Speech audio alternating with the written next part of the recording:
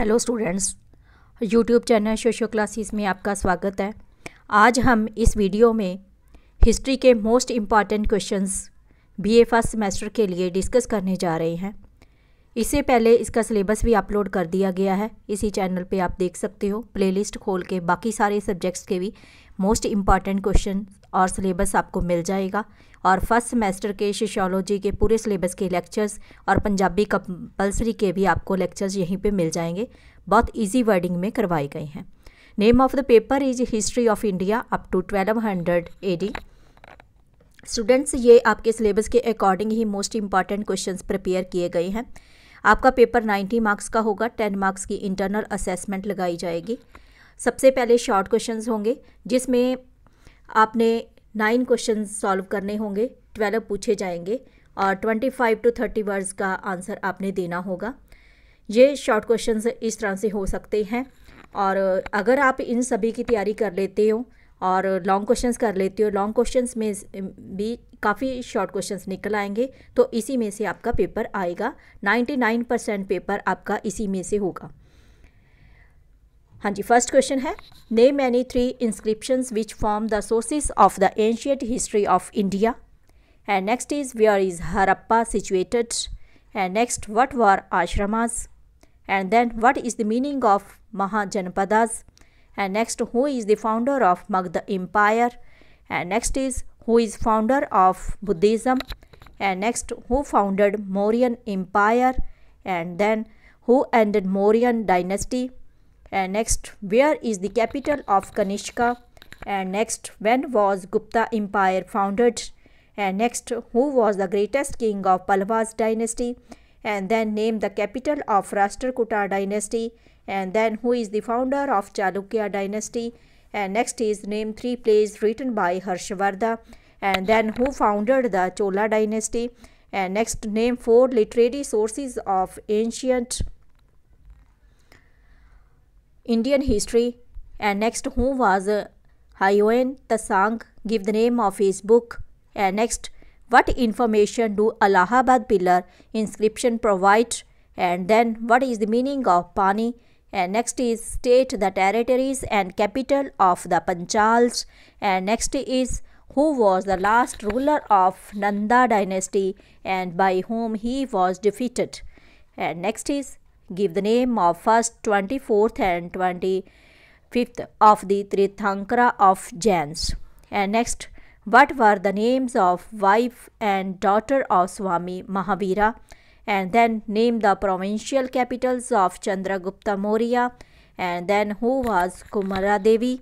And next, name four famous temples constructed in the Gupta age. And then what was the province called during the Palwa age and who was its head? And next is name Harshavardhan's sister. In which royal family was she married? And next is which are the four theories about the origin of Rajputas? And next mention four main conquests of Rajendra Chola. And next write a short note on punch marked coins. And then write a short note on Mohenjo-daro. ये short दो बार गलती से लिखा गया। And next write the names of four Vedic divinities and next write the names of the capitals of Kuru and Panchal mahajanapadas and then what were the factor responsible for the rise of Magadha write any two explain the Tirthankara and who was the founder founder of Mauryan dynasty and next question is who was Samaharta and next who composed the Allahabad Prasasti of Samundragupta. And next write a short note on the scientific developments and Guptas, who was the founder of Pallava dynasty. And next write a short note on the military achievements of Rajendra Chola. And then write a short note on the military achievement of Harshavardhana. And then write a short note on village administration under the Cholas. And then who was Fahian. And next, how many Puranas are there? Name any four such Puranas that are important as source of history.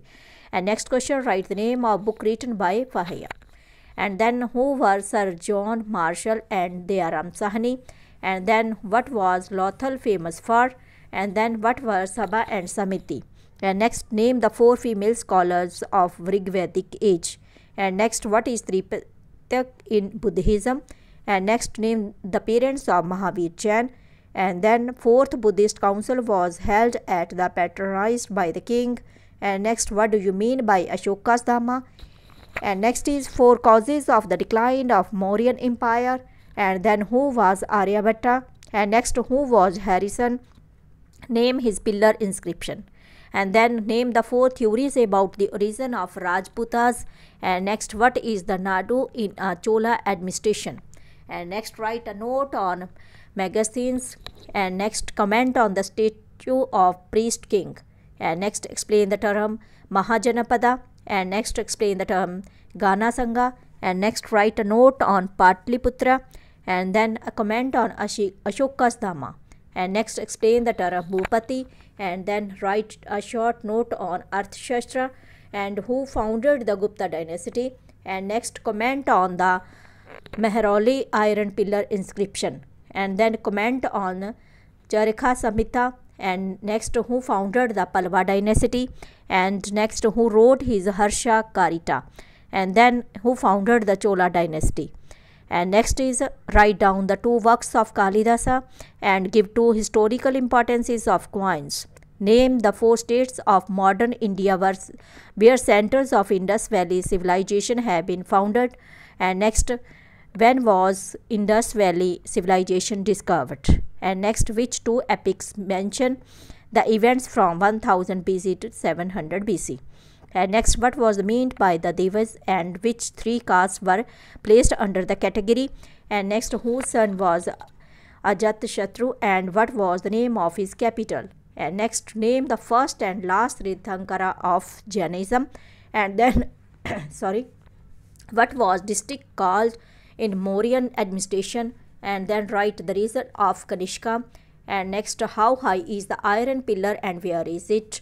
and next who had established Vardhana dynasty and next is who was the vice chancellor of Nalanda University and next is what was the reason uh, period of Pulakeshin II and next which famous temple was was constructed by Krishna Krishnavan of the Rashtrakuta dynasty students ये थे short questions अब आगे हैं long question unit wise हर एक unit में से दो लॉन्ग क्वेश्चन आपको पूछे जाएँगे। ये एटीन मार्क्स के शॉर्ट क्वेश्चन है। Two marks each nine question का आपने आंसर देना है। और लॉन्ग क्वेश्चन आपके दो में से एक आपने करना है, हर एक यूनिट में से। और इसमें से ये एटीन मार्क्स का होगा।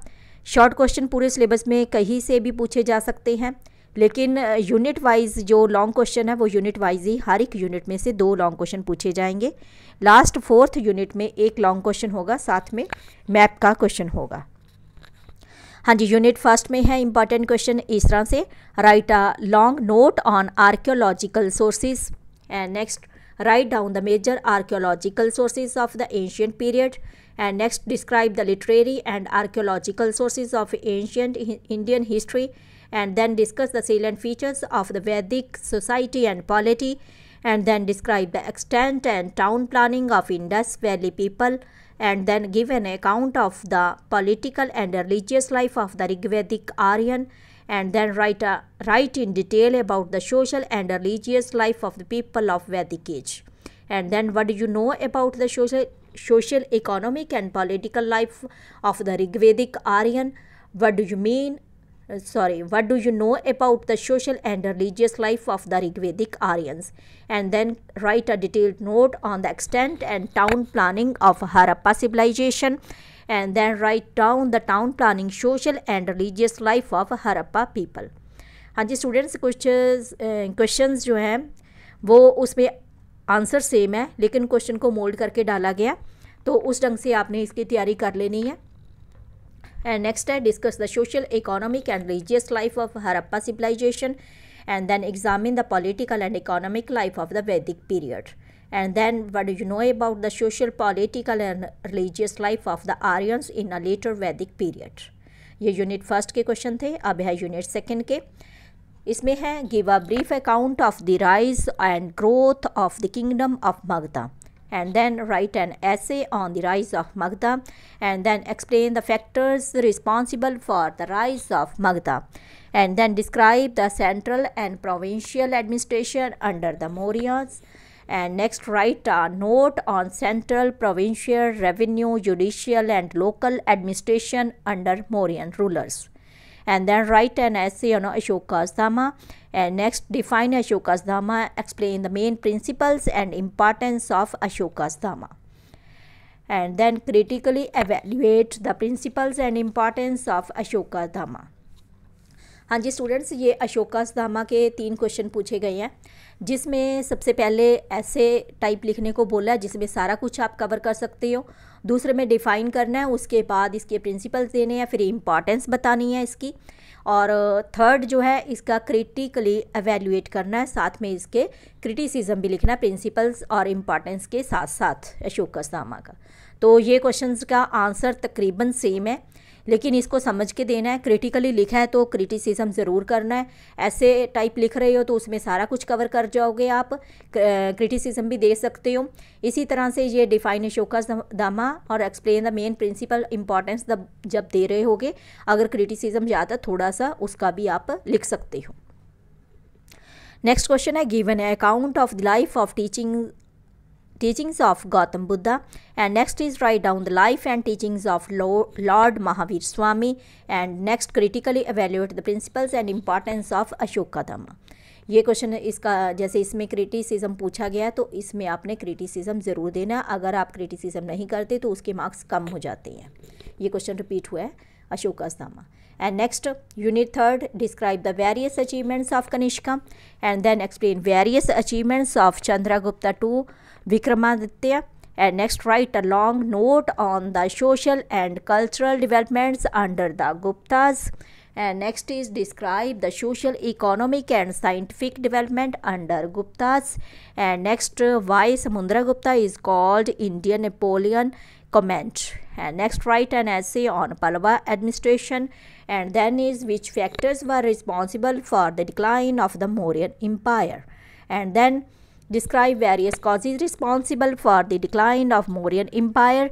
And then what do you know about the administration under Chalukyas and then write down the achievements of Samudragupta why is he owned Indian Napoleon? And then write in detail the administration under Palwas and Rashtrakutas and next fourth unit and last unit write down write के spelling यहाँ गलत हो गई है write down administration of Chalukyas and then write an essay on taxation and trade under the Pandyas and write the administration of Cholas and next what do you know about the origin of Rajputas and next write down the administration under Harshvardhana. Students fourth unit में इस तरह के ये long question पूछा जाएगा। एक long question होगा, साथ में मैप का क्वेश्चन होगा। ये आपकी चॉइस है कि आप लॉन्ग क्वेश्चन करना चाहते हो या मैप का करना चाहते हो। अगर मैप अच्छे से आप कर लेते हो तो इसमें कोई भी मार्क्स आपका नहीं कटेगा फुल मार्क्स आपके आ सकते हैं। अगर आप क्वेश्चन करते हो तो क्वेश्चन में फुल मार्क्स नहीं आएँगे एटीन मार्क्स का। तो उसमें तीन चार मार्क्स तीन नंबर कम रह जाते हैं, अगर बिल्कुल अच्छा लिखा हुआ है तब भी। तो इसलिए मेरी सजेशन तो यही है कि आप हिस्टोरिकल प्लेसेस अच्छे से याद कर लो, कहाँ कहाँ पे हैं, और एक्सप्लेनेटरी नोट भी लिखने को बोला जाएगा फोर के ऊपर। ये प्लेसेस आपको फिल करने के लिए और नोट के लिए कहे जा सकते हैं। अजंता, कालिंगा, कनौज, टक्सिला, वाराणसी, अलोरा, हरप्पा, इंद्रप्रस्था, लोथाल, हस्तिनापुर, पाटलिपुत्रा बोध गया नालंदा, तंजोर, उज्जैन, सोपारा, काली, बैंगन। सांची। ये इसके सारे प्लेसेस हैं। ये इसकी तैयारी आप पहले से कर सकते हो। इसी में से ये पूछे जाएँगे और इसी के ऊपर एक्सप्लेनेटरी नोट भी लिखने को बोला जाएगा और इसका मैप के क्वेश्चन के 18 मार्क्स होंगे। थैंक यू सो मच हम thanks good luck for your exam I am sure you will do the best students अपनी मेहनत करो, अच्छे मार्क्स लो और कमेंट करके ज़रूर बताना कि आपका पेपर कैसा हो रहा है और मार्क्स कितने आते हैं। इसके अलावा बाकी सारे सब्जेक्ट्स के मोस्ट इंपॉर्टेंट क्वेश्चन यहीं पे मिल जाएँगे। आने वाले समय में हिंदी और पंजाबी में भी इसको अपलोड कर दिया जाएगा। लेकिन ये काम बीच बीच में थोड़ा स्लो हो जाता है कि हेल्थ प्रॉब्लम आ जाती है और गॉड से प्रे किया करो कि मैं जल्दी जल्दी ये सारा काम कर सकूँ। Thank you so much. मिलते हैं हम अपने अगले वीडियो में।